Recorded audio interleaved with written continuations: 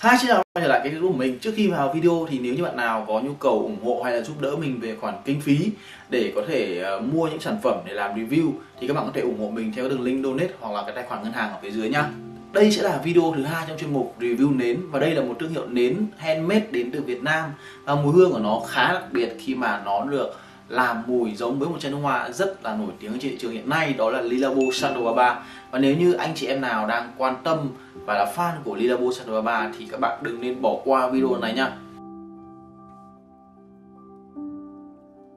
Và trên tay mình đây đang là Santo đến từ thương hiệu nến handmade workshop candle. Đây, các bạn có thể nhìn này. Đó. Và cái nắp này là bằng gỗ. Ở trong thì, ở trong cái nắp này thì nó có một cái tấm mút như này đó. Cái mùi đấy ngửi phát thấy giống vãi trưởng luôn. Thực sự rất là giống Lilabo Sandro Baba. Và đây là một cái thương hiệu đến mà mình nghĩ rằng là nó cũng đã có một cái tuổi đời khá là ok và đã có một cái sự khẳng định trên thị trường nến handmade ở Việt Nam. Thì các bạn có thể thấy rằng là nó có cái thiết kế mà mình vừa review rồi. Thì cái sáp ở đây là cái sáp cọ và cái ờ, bấc ở đây thì nó là bấc cốt tông.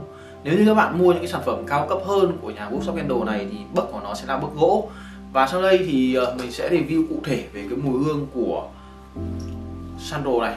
Đây là mình lấy bật lửa mình đốt. Cái này mình đốt cũng được một lúc được một thời gian rồi.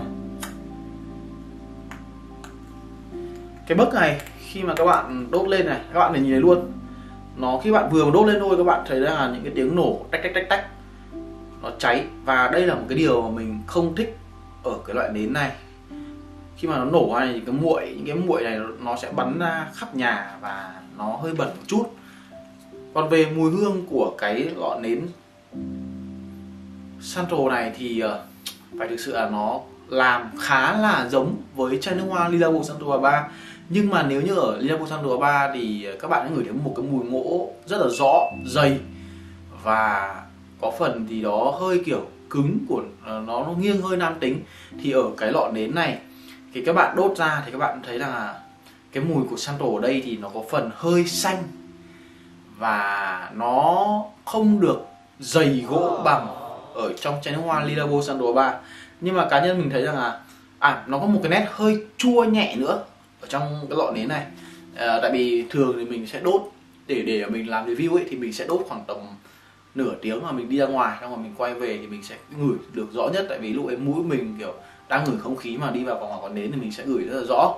Thì mùi ở lọ nến này nó là như vậy. Nó giống Sandro 3 nhưng mà nó không dày gỗ bằng mà nó có phần xanh và chua hơn một chút.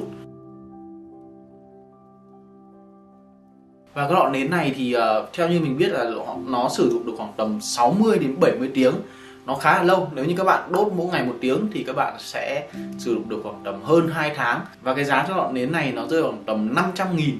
Khá là rẻ. 500 nghìn mà được tầm hơn 2 tháng. Thì mỗi tháng các bạn có 200 rưỡi. Và mỗi ngày các bạn dùng chưa đến 10 nghìn. Rất là rẻ. Cho các bạn nào nếu như thích những cái mùi nến mà có cái xu hướng làm cái mùi giống với những cái mùi nước hoa nổi tiếng trên thị trường thì các bạn có thể tham khảo cái bộ sưu tập này. Hương và cái độ tỏa hương ở trong phòng ấy thì uh, thứ nhất là mình nói rằng là mình thấy rằng mình đã sử dụng qua hai sản phẩm của ờ, cái bộ sưu tập của nhà workshop candle này. Thì mình thấy rằng là về cái độ tỏa hương thì cái phòng của mình khoảng tầm 30 mét. Thì khi mà mình đốt thì gần như là mình ngửi rất rõ ở trong phòng. Và khi mà mình tắt nến đi và khoảng tầm phải khoảng tầm 10 đến 15 phút sau thậm chí là lâu hơn thì mình mới thấy rằng mùi hương nó bắt đầu dịu xuống. Thì mình đánh giá rất là cao về cái khoản uh, tỏa hương và cái đoạn lưu hương ở trong phòng. Nên là nếu như bạn nào có nhu cầu mua cái lọ nến này để sử dụng ở trong cái môi trường rộng khoảng tầm 30 mét thì nó rất là ok 3 mét đổ xuống. Còn nếu mà rộng hơn thì mình nghĩ là chắc là nó sẽ hơi yếu một chút mình có những cái điểm mà mình khá là thích ở cái lọ nến của nhà Woodstock Candle này. Thứ nhất là cái phần lọ này họ làm rất là ok rất là đẹp. Và khi các bạn đốt lên ấy thì các bạn sẽ không có cái việc là nó cháy không đều. Đặc biệt là một điều mình thấy là khi mà cái xác nến nó chảy ra thì nó cháy rất là đều. Và nó không bị lõm lại như cái uh, video đầu tiên mình làm về cái nến của nhà Citrus Candle. Thì cái lọ nến của nhà Woodstock Candle này họ làm rất là tốt về cái mảng đó. Nên là các bạn sẽ không bị lo là nó cháy không đều. Đây như cái lọ này, của mình đốt nhiều này. Đây, các bạn thể nhìn thấy là nó xuống đều hết luôn, mà mình không phải làm cái gì cả. Đó là cái điều mình thích. Cái điều thứ hai mà mình thích ở cái lọ nến này, đó chính là khi mà các bạn, tại vì đây là cái nắp của nó làm bằng gỗ và ở dưới cái phần thân là có cao su. Thì các bạn đậy lên một phát như này thì lập tức nến nó sẽ tắt ngay, tại vì nó không có không khí. Đó là cái điều thứ hai mà mình rất là thích. Đây, mình mở ra, nó chỉ có khói như thôi, và nó không tắt luôn, chứ mình không phải thổi thiết âm gì cả. Tại vì khi thổi thì nó sẽ gây ra cái hiện tượng là khói đen đưa thứ nó sẽ rất là khó chịu cho người sử dụng. Đó là về mùi hương và những cái điều mà mình thích của cái dòng nến của nhà Woodstock Candle này. Còn bây giờ sẽ là những cái điều mình không thích. Thứ nhất, đó là khi mà các bạn dùng cái lọ nến mà nó xuống quá một nửa mà các bạn không có những cái dụng cụ để các bạn châm. Như kiểu là cái đèn khò khiếc bằng gậy dài ấy. À, mình sẽ để hình ở đây. Đó thì cái việc các bạn châm tại vì cái lọ nến này nó làm theo cái chiều là hình chữ nhật này hình có dạng cốc này. Thì mà khi mà cái lọ nến xuống quá nửa thì các bạn việc các bạn châm bằng bật lửa thường nó rất là khó. Cái thứ hai đó là về cái phần muội nó sẽ dính ở xung quanh cái phần cốc nến này. Và các bạn cho tay vào thì lúc ấy mình mình cho vào đây thì mình sẽ bị bẩn. Đây. Mình đã bị bẩn và mình đã rửa rồi. Và nó, đấy, khi các bạn cho tay vào thì các bạn bật lửa này, nó sẽ dính hết vào tay của bạn. Và cái đấy là cái rất khó chịu và cái cái phần muội này nó rửa rất là khó. Và còn một cái điều nữa mà mình nói ban đầu là khi mà các bạn mới đốt lại sau vài lần sử dụng ấy, thì cái bậc này nó sẽ bị kiểu cháy kiểu nổ nổ và nó văng những cái muội ra rất là khó chịu xung quanh mà các bạn kiểu lau bàn mà bàn trắng như kiểu bàn nhà mình ấy, thì nó trông rất là tở, nó rất là bẩn. Nên là nếu như các bạn có điều kiện tài chính thì các bạn nên mua những cái bấc gỗ những thứ, mặc dù cái bấc gỗ nó cũng nổ tí tách thôi, hoặc là các bạn hẳn có một cái khay đựng để đốt nến riêng ấy, thì hoặc là có cái đèn để đốt nến thì nó sẽ tốt hơn.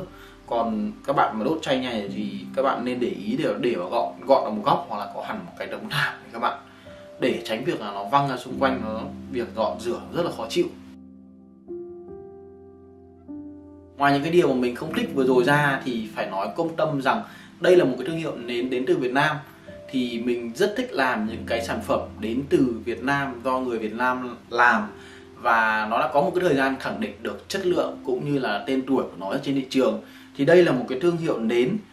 Nó khá là ok về mặt từ mùi hương, độ lưu hương, độ quả hương, cũng như là đến phần giá cả và đến phần thiết kế. Mặc dù là các bạn có thể thêm một chút tiền để mua những cái sản phẩm nổi tiếng hơn của những cái thương hiệu nước ngoài như là Yankee các thứ. Nhưng mà mình nghĩ rằng là chúng ta là người Việt Nam, ta nên nên ảnh, cũng nên ủng hộ những cái sản phẩm của người Việt Nam. Tại vì bây giờ đấy là những cái sản phẩm của Việt Nam cũng khá là ok rồi. Và mùi hương này thì nó lại rất giống với mùi hương Lilabo Santo Baba nên là nếu như bạn nào là fan của Lilabo Santo Baba các bạn, ngoài việc các bạn xịt những cái mùi hương của Santo Baba lên áo, lên ừ, quần áo, lên người, những cái thứ thì các bạn muốn có một cái mùi hương nó mang đúng được signature scent mà đi vào nhà các bạn có thể ngửi thấy thì đây là một cái mùi hương mà mình nghĩ rằng là các bạn nên thử qua các bạn nên có ở nhà.